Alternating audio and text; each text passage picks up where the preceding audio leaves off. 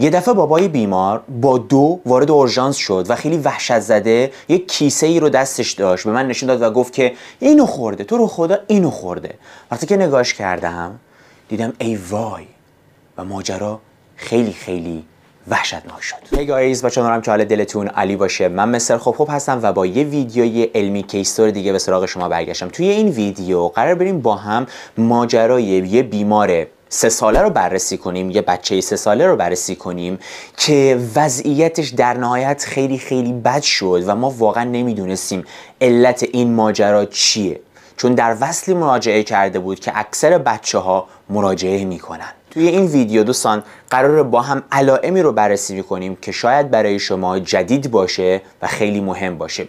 چه کادر درمان باشید چه کادر درمان نباشید حتما تا انتهای ویدیو با من باشید که این ماجرای جالب علمی و البته خطرناک این کودک سه ساله رو با هم ببینیم و به صورت علمی بررسیش کنیم. دوستان یادتون نره که ساخت همچین ویدیوهایی خیلی انرژی می‌گیره. پس حتما subscribe کنید زنگوله کنارشو بزنید و لایک کردن یادتون نره لایک کردن و کامنت گذاشتن شما باعث میشه که همچین ویدیوهایی با سبک علمی بالاتر بره ویوهاش و به افراد بیشتری suggest بشه که افراد بیشتری ببینن و بتونن از بچه هاشون محافظت بکنن. مثلا ساخت همچین ویدیوهایی خیلی انرژی می‌گیره. پس حتما subscribe کنید زنگوله کنارشو بزنید و این ویدیو رو به افرادی که فکر می‌کنید نیاز دارن همین الان بفرستید. لایک کامنت یادتون نره دوستان. لایک ها و کامنت های شما بسیار مهمه. بسیار مهمه. باعث که همچین ویدیوهای علمی به افراد بیشتری suggest بشه. پس حتما لایک و کامنت رو بذارید. بریم ببینیم ماجرای این کودک سه ساله. چی بوده؟ Let's do this سال پیش دقیقا همین موقع ساعت ده صبح شیفت صبح اورژانس که البته آخرین شیفت منم بود و داشتم دیگه خودم آماده می‌کردم که برگردم براتون ویدیو ضبط کنم و دقیقا آخرین شیفت من بود. یادم میاد تو اون شیفت خیلی خیلی اورژانس شلوغ شده بود و به خاطر این بود که خیلی از اطفال اون شهر توی اون در واقع فصل دچار بیماری معده و روده شده بودن و اسهال استفراغ التهاب روده گاستروانتریت اتفاق افتاده بود. چرا؟ چون دوستان هر ساله یه سری ویروس ها هستن که دقیقا به اطفال حمله می‌کنن و باعث میشن که این اطفال دچار تهوع استفراغ اسهال بشن و حالا اون موقع توی اون شهر همچین اتفاقی افتاده بود که خب باعث شد که اورژانس برای چند روز خیلی شلوغ باشه و البته روز آخری که من شیفت بودم به شدت به شدت شلوغتر از بقیه روزها بود. یعنی پر از اطفال بود بیمارستان. عملا مهد کودک شده بود. و خب نمی‌شد همه بیمارا رو بستری کرد. یعنی خیلی از بیمارا رو ما براشون داروهای سرپایی می نوشتیم که برن توی خونه استفادهش کنن. چون اگر همه رو بخواستیم بستری کنیم اینطوری همه دوباره از هم ویروس های مختلف رو می‌گرفتن دوباره شلوغ تر می‌شد و تخت ها هم محدود بود. نمی‌تونیم همه رو بستری کنیم. و فقط افرادی که خیلی اسهال داشتن مثلا مایعات زیادی از دادن رو اونها رو بستری می‌کردیم. یادم میاد ما داشتیم بیمارا رو می‌دیدیم و در واقع برای پدر مادر توضیح می‌دادیم که این شربت رو چطور استفاده کنن. معمولا دارویی که به این بچه ها می‌دادن شربت بود بیشتر و برای تبشون هم شیاف می‌دادیم شیاف استامینوفن. داشتیم توضیح می‌دادیم که چطوری از این داروها استفاده کنید و اینها. و دیدم همون موقع یک در واقع خانمی و آقای یه بچه سه ساله رو که دستشون بود که البته این بچه سه سالی که دستشون بود خیلی خیلی گریه می‌کرد و بیقراری می‌کرد نسبت به بقیه بچه ها همینطور دستش گرفته بودن و آورده بودن داخل اورژان سمت استیشن اومدن و بردن سمت پزشکی که جفتم نشسته بود و داشتن بهش نشون می‌دادن و اون داشت معاینهشون می‌کرد. همونجا گفت که این شربت استفاده کنید این شیاف استفاده کنید و برید خونه این یه ویروس یه ذره طول می‌کشه که خوب بشه و باید اینها رو استفاده کنید که بیمارتون خوب بشه. توجه کردم که اون همراه ها نمی‌تونستن خوب فارسی حرف بزنن. و داشتن هی می‌گفتن ب... شکم بچه‌مون درد داره. ولی خب چون همه بچه ها علائم اسهال استفراغ شکم درد داشتن خب این بیمارم به نظر می‌رسد همون باشه و ویزیت دقیقم نمی‌شد انجام بشه تو اون شلوغی. این پزشک براشون در واقع اون شربت و دارویی که حالا برای بقیه بیمارها هم استفاده می‌شد برای اون بیمار نوشت و بهشون گفت که برید خونه بچهتون دو سه روز آینده ممکنه علامه داشته باشه ولی حواستون باشه که بهش مایع بدید. و توجه کردم که همراهاش خوب نه فارسی حرف می‌زدن نه فارسی رو خوب میفهمیدن و در نتیجه زیاد متوجه حرف پزشک نشدن. اونا یک حالت چی میگم ناخوشی بودن یک حالت ناراحتی بودن پدر مادره و بچه خیلی گریه می‌کرد. وقتی که بهشون گفت برید یه مقدار مکس کردن و نمی‌دونستن چه کار کنن. یه نگاه به من کردن ولی خب گفتم اوکی شاید یه بیماری باشه که حالا یک اسهال تهوع استفراغ و اینها و خب پزشک جفتیم دیدش دیگه نیازی به نگرانی نیستش. ولی یه چیز نکته من دقت کردم که این بچه بچه سه ساله دهنش رو باز کرده بود و اینطوری زبونش رو جمع کرده بود. خیلی عجیب بود که البته این نکته رو هم بهتون بگم. توی این بیماری که شیوع پیدا کرده بود دقیقا زبون آفت می‌زد. توی سایر بچه هم اینطوری بود. یعنی زبونشون زخم می‌شد آفت می‌زد سفید می‌شد و گفتم شاید همون باشه. و خب اون پدر مادر بچه رو گرفتن و رفتن خونه. همون لحظه به پزشکی که جفتم بود گفتم که خیلی گریه می‌کرد. بعدها نبود بسترش گفت نه نه نه. این همون اسهال استفراغی بود که ما خب تخت نداریم فلان نداریم. و خب رفتن. اینها رفتن خونه و داشتیم بقیه بیمارا رو می‌دیدیم. و نزدیک انتهای شیف بود. یعنی فکر کنید ساعت ده ما این بیمار رو دیدیم این پدر مادر رو دیدیم. نزدیک انتهای شیفت یعنی ساعت دوی ظهر و داشتیم شیفت رو در واقع جمع می‌کردیم که دیگه تحویلش بدیم و بریم خونه. خیلی هم خستم بود خیلی خیلی شیفت شلوغی بود یعنی وحشتناک بود دوستان. همون ساعت دو باز همون پدر مادره اومدن این دفعه بچهشون از شدت بیحالی خوب حتی نمی‌تونست گریه کنه. رنگ پریده شده بود بیحال شده بود و شکم درد شدیدی داشت. یعنی قشنگ شکمش رو گرفته بود بچه و گریه می‌کرد. اووردنش داخل اورژانس. پدر مادر خیلی ترسیده بودن و دوباره اومدن سمت ما و گفتن که بچهمون بچهمون نمی‌دونم داره چی میشه و خب همونطوری که بهتون گفتم نمی‌تونستن خوب ارتباط برقرار کنن. پزشکی که جفتم بود گفت که یهو عصبی شد. خب واقعا خیلی لود بیمار بالا بود خیلی شلوغ بود خیلی بچه با این وضعیت اومده بودن. یهو عصبی شد گفت که مگه من بهتون نگفتم که این بچه زودی خوب نمیشه. گفتم شربتش رو بدید بهش مایعات بدید. حداقل تا دو سه روز نیاید اینجا زودی خوب نمیشه. دوباره یه ویروس دیگه می‌گیره. خب از یک سمت ایشون درست می‌گفت. ولی این بچه وضعیت نرمالی نداشتش. همون لحظه که داشت بهشون می‌گفت برید نمونید اینجا گفتم دکتر نه. این بچه حال بچه خوب نیستش. حال بچه یه مقداری من بچه رو چون دیدم موقعی که اومد حالش الان بدتر شده و بهتر اینو بستریش کنیم. که پزشکی که جفتم بود یه مقدار چون عصبی بود اومد گفت که پس خودت ببین همه کاراش با خودت. من دارم میگم بره خونه. تو میگی بمونه. گفتم دکتر بیمار وضعیت خوبی نداره. بهتره که دو ساعت حداقل توی اورژانس باشه آزمایشات براش بفرستیم ببینیم ماجرا چیه. و اوکی به توافق رسیدیم و بچه رو نگه داشتیم توی اورژانس. و من وقتی که رفتم بالا سرش که بچه رو معاینه کنم دوستان تا دست دادم به شکمش شکمش رو سفت کرد و جیغ زد بچه. خیلی برام عجیب بود. چون در تک تک اون بیمارا که اومده بودن درست اسهال استفراغ داشتن. ولی این شکلی شکمشون سفت نمی‌شد. این شکلی شکمشون رو سفت نمی‌کردن و جیغ بزن و اینقدر درد بکشن. این بچه اما خیلی عجیب بود. اصلا اجازه نمی‌داد به شکمش دست بزنم از شدت دردی که داشت. و شکمش سفت سفت سفت بود. و به قیافش که نگاه می‌کردم دوستان بچه رنگ پریده بود قشنگ مشخص بود. بچه صورت رنگ پریده ای داشت. معمولا پوست باید صورتی باشه تقریبا توی بچه ها این بچه پوستش رو به سفیدی رو به زردی می‌خورد. خیلی عجیب بود و خیلی تفاوت داشت از موقعی که اوورده بودنش صبح. صبح خیلی حالش بهتر شد. و اینجا بود که گفتم نکنه اونقدر اسهال پیدا کرده اونقدر استفراغ پیدا کرده. که به این وضعیت رسیده. آب زیادی بدنش از دست داده و الان بیمار در وضعیت بیابی به سر و بیابی خطرناکه به خصوص توی بچه ها چون باعث ایجاد ایست قلبی ایست تنفسی و به کما رفتن بچه و فوتش میشه. به خاطر همینه اسهال و استفراغ بچه ها اصلا شوخی بردار نیست. چون وزن بدنشون کمه. به محضی که آب کمی از دست بدن دچار حالت دهیدریشن و یا کم آبی میشن. و سری باید آبشون جایگزین میشه. و من همچین فکری کرده بودم. چون پزشک می‌گفت که این تهوع سال استفراغ داشته دیگه همچین علائمی داشته. که همون لحظه که داشتم می‌گفتم که چقدر اسهال داشته از پدرش می‌پرسم چقدر اسهال داشته همونطور که بهتون گفتم چون پدرش نمی‌تونست خوب حرف بزنه می‌گفت که اسهال نداره. ولی این رو درست نمی‌گفت. خب؟ و چون درست نمی‌گفت من نفهمیدم که اسهال داره یا نداره. ولی بیشتر به نظر می‌رسید که داشت می‌گفت اسهال نداره. اسهال نداره. بچم اسهال نداره.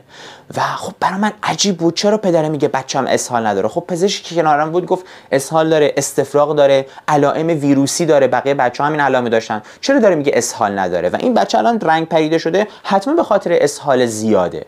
ولی همچنان پدره داشت می‌گفت اسهال نداره استفراغ نداره. و چیزی که من نگاه می‌کردم واقعا پوشک بچه هم okay بود تمیز بود مشکلی نداشت. واقعا توی پوشک اسهالی وجود نداشت. و من با خودم گفتم نکنه سریع عوضش کردن که این شکلیه. هیچی. گذشت ما سریع برای بچه دو تا رگ گرفتیم.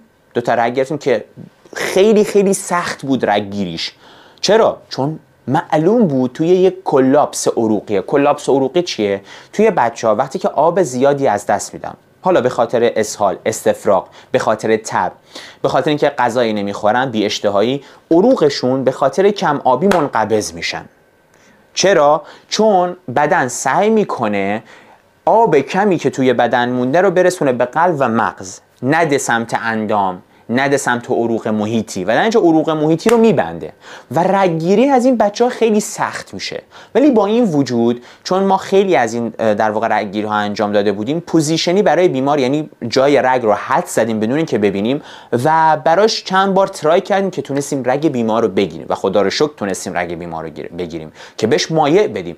و شروع کردم برای سرم تراپی یعنی به این بیمار سرم تراپی دادم و بهش مایع دادم و آزمایشات رو برای بیمار ارسال کردیم که ببینیم ماجرا از چه قراره. ولی دوستان باور نمی کنید با اینکه به بیمار مسکن دادیم یعنی استامینوفن دادیم با اینکه به بیمار مایع دادیم ولی بیمار ساکت نشد که هیچی خیلی خیلی داد می‌زد جیغ می‌کشید و گریه می‌کرد. بچه یه سه ساله. من واقعا همچین دردی رو ندیده بودم که چرا بچه سه ساله اینقدر داره گریه می‌کنه. بیحال بود و دست می‌زدم به شکمش خیلی سفت کرده بود و اصلا یک وضعیت خیلی عجیبی بود. شبیه بقیه نبودش. اوکی بیمار معاینه شده بود ویروسی بود. اوکی همه هم هم اینطورن چیزی که به خودم می‌گفتم. همه این شکلی هم. بچه ها بقیه همشون هم بیماری ویروسی دارن و ممکنه یکی از علائم حادش باشه. همون لحظه دوستان این بچه یعنی بچه سه ساله یه برادری داشت حدودا 7 8 ساله که اون برادره هی به پدری یه چیزی رو داشت می‌گفت. داشت می‌گفت که مثلا این این بچه یه چیزی رو استفاده کرده یک همچین چیزی رو داشت به پدره می‌گفت. که پدرش هی با سر صدا چون خب پدر عصبی بود باید حق بدیم بهش خیلی عصبی بود بچهش بدحال بود و خب این پسر 7 8 ساله رو خب ممکن بود مثلا چیزی که داره میگه درست نباشه. پدر کاملا این پسر رو اصلا داد کشید رو سر پسر 7 ساله و بهش گفت ساکت باش حوصلتون ندارم بذار ببینم چه کار می‌تونم بکنم. و اون پسر اون چیزی که داشت می‌گفت رو کلا متوقف کرد و دیگه چیزی نگفتش بنده خدا. دیدم چطوری ترسید وقتی که پدرش بهش داد زد و رفت یه گوشه نشستش. ولی من توجه کردم به این حالت اون پسر که داشت یه چیزی رو می‌گفت راجع به این بیمار. توجه کردم. این تو ذهنم بودش. البته اون پسر 8 7 ساله هم هنوز نمی‌تونست در واقع خوب فارسی حرف بزنه و ارتباط برقرار کنه. خب نتونستیم خوب ازش چیزی رو ورداریم. یعنی یک اطلاعی رو ورداریم. خیلی محدود بود. و از اونجایی که هم پدره بهش جیغ زده بود داد کشیده بود دیگه کاملا ترسیده بود و رفت یه گوشه نشسته. وقتی که آزمایشات این بچه اومد دوستان خیلی خیلی وحشتناک شد ماجرا. من آزمایشات گرفتم دستم دوستان HB بیمار یعنی میزان خون بیمار شده بود 6 چرا؟ یک بچه سه ساله HBش شده 6 و اومده پایین چرا؟ یک بچه سه ساله نباید اچویش بشه 6 این بچه سابقه کمخونی هم نداشت. از پدر مادرش پرسیدم. گفتم کمخونن؟ گفتن نه کمخونی نداره. یعنی نه تالاسمی مینوره نه تالاسمی ماژوره نه مشکل خونی داره. پس چرا خونش شده 6 البته با توجه به علائم با توجه به علائم همه چی منطقی به نظر می رسید بیمار زرد رنگ بود رنگ پریده بود ضعف و بیحالی داشت و همه نشون دهنده کمبود خون توی بدنه. اما چرا کمبود خون؟ این بیمار اسهال استفراغ خون ریزی که نداره. یه لحظه به ماینه شک کرده بودم همون لحظه. و گفتم ای وای پزشکی که کنارم بود اصلا این بیمار رو خوب ماینه نکرده بود. و چون شلوغ بود از پشت در واقع اون ناحیه که نشسته بودیم بیمار رو دید و گفت که اوکی این بیمار طبق بیمارهایی که دیگه اومده بودن باز هم ویروسیه و اصلا دست به شکم بیمار نزده بود. از کجا معلوم اصلا این بیمار ویروسی ویروس باشه؟ اصلا چیزی باشه؟ چرا من نپرسم که بیمار ضربه خورده یا نخورده؟ و همراهش هم که یادم اومد گاش می‌گفت اسهان نداره همون لحظه سری رفتم بالا سر بیمار. این دفعه خیلی ترسیده بودم. رفتم بالا سر بیمار و به همراهش گفتم که مطمئن نیست ضربه به شکمش نخورده تصادفی نبوده کسی به چیزی به ضربه به شکمش نزده. و اینطوری جوابی دادم گفتن نه. ضربه ای نخورده بیمار ما ضربه ای نخورده فقط شکمش درد می‌کنه. و جالب اینجاست که هی تکرار می‌کردن می‌گفتن آپاندیسیت آپاندیسیت فکر می‌کردن این بیمارشون آپاندیسیت داشته. ولی خب آپاندیسیت یک همچین علائمی نشون نمیده به خصوص در بچه ها در بچه های سه ساله. این بیمار کمخون شده بوده علتش هم نمی‌دونستیم.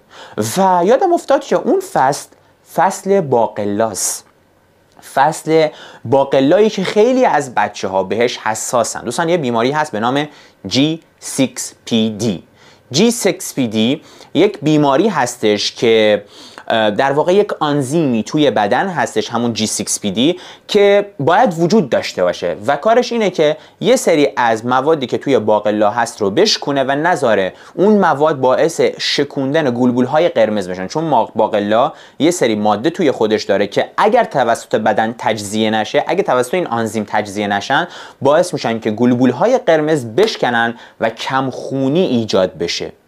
که ما بهش میگیم بیماری فاویسم. خیلیاتون مطمئنم بهش آگاهی دارید. گفتم نکنه این بیماری فاویسم داره. که هم آزمایش جی سکس بیدی براش فرستادم که مشکلی نداشت و هم پدر مادرش می‌گفتن هیچ حساسیتی به باقلا نداره. واقعا مونده بودیم ماجرا چیه؟ و من سریعا زنگ زدم به جراح اطفال و گفتم بیاد بیمار رو معاینه کنه. واقعا بیمار یک شکم اصلا غیر نرمالی داشت که البته جراح اطفال باز هم ببینید چقدر این شیوع پیدا کرده بود بیماری که می‌گفت که من مطمئنم این بیماری در واقع هم همین اسهال استفراغه. ولی حالا چون میگی درد زیاد داره باشه میام ماینش می‌کنم. یعنی ببینید همه فکر می‌کردن هر بچه‌ای که داره میاد با شکم درد یک بیماری اسهال استفراغ التهابه و چیز دیگه ای فکر نمی‌کنم. و به خاطر همینه میگم همیشه باید تشخیص از اول صورت بگیره. یعنی کاری به بقیه نداشته باشید. تک تک بیمارها یونیک هستن تک تکشون خاص هستن. خب من وقتی که دیدم وضعیت به این در واقع حالته و بیمار هی داشت ضعف و بیحالی پیدا می‌کرد درخواست خون رو برای بیمار فرستادم. و آزمایشگاه و بانک خون داشتن خون بیمار رو آماده می‌کردم چون در یک وضعیت خونریزی دهنده بود دیگه بیمار. هم توی وضعیت شوک بود. ضربان بیمار خیلی بالا بود. دوستان یک بچه درست ضربان قلبش بالاتر از 100 تا تا 120 تا, حتی 130 تا. اما این بچه 170 تا بود. از سمت دیگه سری سری تون تون نفس می‌کشید و همه چی با هم دست به دست این داده بود که علائم به نفع شک هسته. شک چیه؟ اینکه بیمار آب زیادی از دست داده حالا خون زیادی و آب زیاد و به این وضعیت رخ داده. حالا بیمار اسهال استفراغ نداشته پس خون زیادی از دست داده. خدایا چرا؟ به خودم می‌گفتم چرا بیمار این شکلیه؟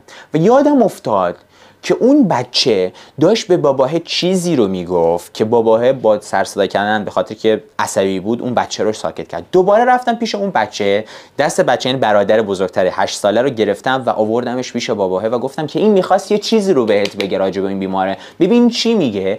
و باباه دوباره ازش پرسید و بچه یه چیزی رو به باباه گفت دوستان که بابایی به هم ریخت. اصلا کلا صورتش زرد شد و بدون این که بگه اوکی من می‌خوام این کارو بکنم یهویی با دو از اورژانس خارج شد رفت بیرون.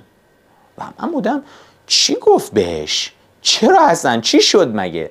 و هرچی به اون بچه می‌گفتم چی اصلا حرفی نمی‌زد دیگه با من. اون هشت ساله ترسیده بود. یه ده دقیقه بعدش دوباره همون پدر بیمار با دو وارد اورژانس شد اومد سمتمون خیلی ترسیده خیلی وحشت زده. یک کیسه دستش بود که داخلش حالت قند مانند یه چیزای سفید سفید بود. گذاشت رو استیشن گفت اینو خورده بچم اینو خورده. تا گذاشت رو استیشن من از دور معلوم بود که انگار قند بود چون قشنگ شبیه قند سفید بودن. گرفتم دستم روی اون محصوله روی اون کیسه نوشته بود ماده شوینده قلیایی قوی برای شستشوی در واقع چربی های روی اجاق گاز چربی های سرامیک. ای وای. همون لحظه همین الان که دارم میگم واقعا اصلا خیلی ببین چقدر اون بچه زج کشیده بود. همون لحظه ماجرا مثل روز برام روشن شد که مشکل بچه چیه؟ که چرا زبونشو اینطوری جمع کرده بود اصلا؟ بچه از این ماده استفاده کرده بوده که برادرش سعی می‌کرد به ما بگه. این ماده یک ماده به شدت قلیاییه و می‌خوام یه اطلاعی رو بهتون بدم. دوستان موادی که خیلی قلیایی هستن حتی از مواد اسیدی قوی ترن سوراخ می‌کنن. و این ماده ماده بود یه حالت قند مانند بود ماده خیلی قوی قلیایی که میز داشتن روی اجاق گاز و با این چربی هایی که در نمی اومدن و در می آوردن ماده های شوینده که شاید دیده باشید. و بچه فکر می‌کرده این قند از این گرفته گذاشته تو دهنش و قورتش داده بوده. و به خاطر همینه که به محضی که با زبون بچه در تماس بوده زبونش رو زخم کرده و بچه چون نمی‌تونسته زبونش زخمه و درداشه اینطوری دهنش رو باز کرده بوده و نمی‌تونه سطح دهنش رو ببنده. و این رفته پایین و مطمئنم که الان یه جایی از روده گوارش و معدش و رودش رو سوراخ کرده. چون این ماده قلیایی اگه به یه سطحی بچسبه باعث تجزیه اون در واقع محل میشه. به خصوص روده بچه که خیلی خیلی خیلی در واقع به راحتی پاره میشه.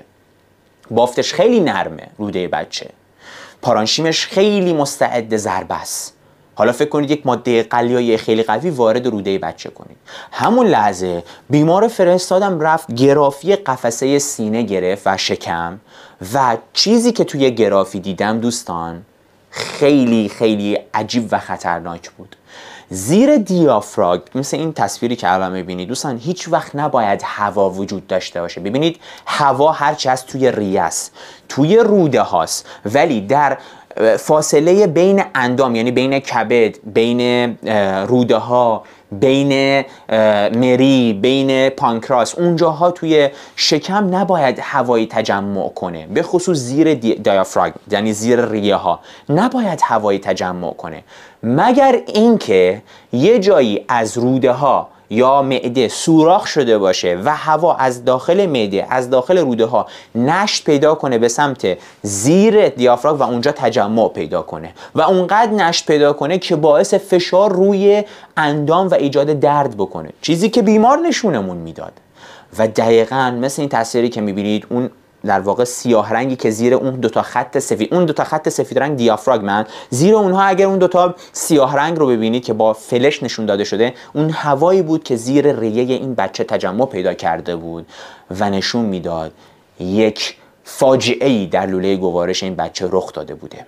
همون لحظه من با دو رفتم سمت بانک خون. خون رو گرفتم و اومدم برای بچه کردم چون می‌دونستم بچه از اون قسمتی که سوراخ شده توسط این ماده قلیه داره خون ریزی می‌کنه. همونجا خون رو وصل کردم به بچه و سری بچه رو مانیتور کردم. زنگ زدم به جراح و گفتم بچه رو دارم میارم اتاق عمل.